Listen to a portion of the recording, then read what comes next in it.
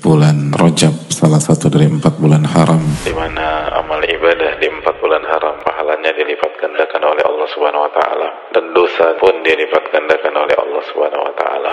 hendaknya kita tingkatkan performa kita sebagai suami misalnya tambahlah uang bulanan istri kita. Setuju nggak? Saya bilang setuju? Dari balik tabir.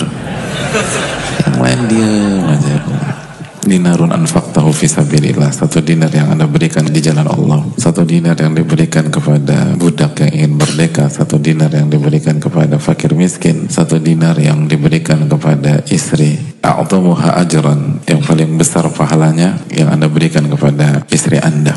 Begitu juga dengan ibu-ibu di belakang. Tingkatkan performa sebagai istri lebih ramah ke suami jangan suara tinggi. Kalau suami pulang lembur ngambek sekarang standby di ruang tamu. Lalu sambut dengan senyum lalu masak air panas. Siram. Siram embernya.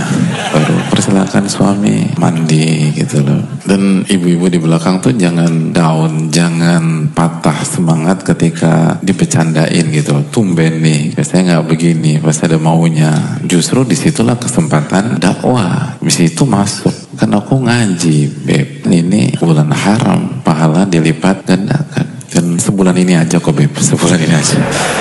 Jangan begitulah. Jadikan momentum. Ini momentum kita berubah ya, momentum kita mendulang pahala. karena kalau kita lengah Jangan sampai kita dan kegagalan kita karena juga dosa dilipat gandakan di hari-hari ini.